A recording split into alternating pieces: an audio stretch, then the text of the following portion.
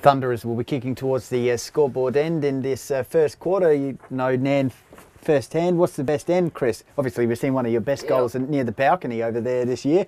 Well, that's my favourite pocket. So obviously, um, yeah, that's my favourite end. But obviously today, the, most of the goals have been kicked to um, to the right today, down the other end, and uh, uh, yeah, because that's obviously where the wind's going a bit today. And- Okay, the tap went up and the ball's gone back into the bottom of the pat. I just saw Craig Evans just rock up, so he must have had something going with the Nord Football Club. So he's a bit running a bit late just then. Okay, Vandenberg up against. I can't see who went up And uh, him. Pistols has joined us here. Full house in the commentary box, Pistols. Yeah, thanks, Goldie. Um,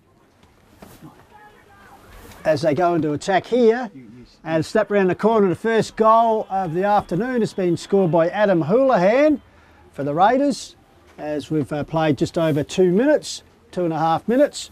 And Adam Houlahan with a clever little snap there has uh, raised the first major, so first blood here.